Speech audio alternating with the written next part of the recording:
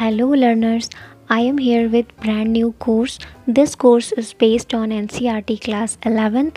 So let's have a look on overview of this course, The Living World. The aim of this course is to make you understand of each word and sentences as well.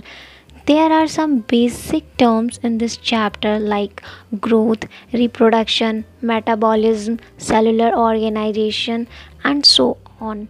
In every unit, you will find a brief history of scientists as also given in this chapter, Ernst Mayr. And you have to remember two to three points about the scientist. In the case of morphology, there is Catherine.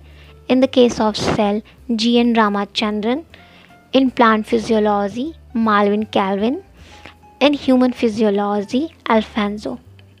So so guys आपको तो पता ही है कि N C R T Gita और Quran की तरह so it's very very important guys and guys इस चैप्टर को हम लोग पार्ट वाइज करके पढ़ेंगे so that we can understand easily and guys अगर आपके मार्क्स टेंथ में अच्छे नहीं आए हैं तो वो पास्ट है। अब उसे चेंज नहीं किया जा सकता एंड फ्यूचर को भी हम नहीं देख सकते हैं। तो हमारे पास प्रेजेंट है।